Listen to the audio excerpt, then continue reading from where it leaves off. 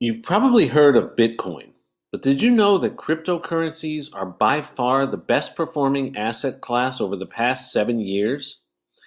If you had invested $1,000 in Bitcoin in January 2015, your investment would be worth more than $25,000 today.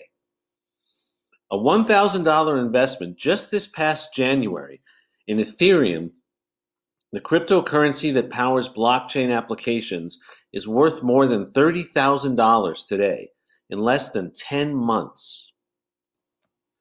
What do these insane sounding investment returns mean? They mean that millions of people are willing to exchange thousands of dollars worth of their government issued currency for a math based, global, borderless digital currency that is quick, cheap, secure, publicly transparent, and personally private, self regulating, and completely free of government red tape and bank fees. It also means that cryptocurrencies have massive value as investments. Let's compare them to some typical investments you might have.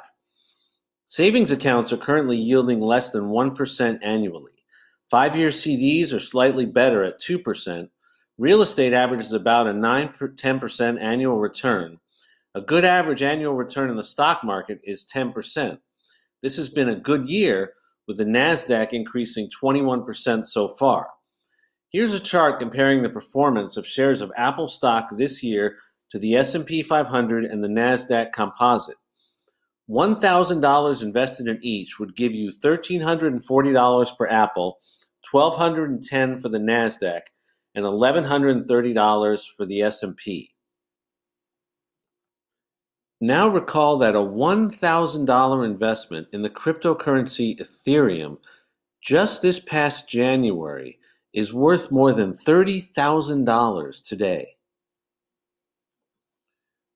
Looking at these investments in the longer term, if you'd invested $1,000 in gold seven years ago, you'd have $1,023 today, a measly $23 return on your investment for 7 years.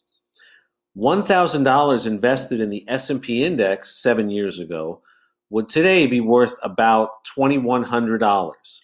And $1,000 of Apple stock bought 7 years ago would today be worth about $4400.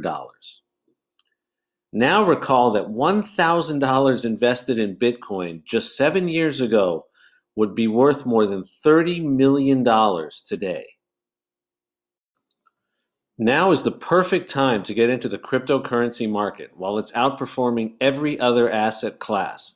Bitcoin is trading at just under $6,000 with a market capitalization that has just exceeded $100 billion, more than the market cap of Goldman Sachs the 150 year old legacy investment bank.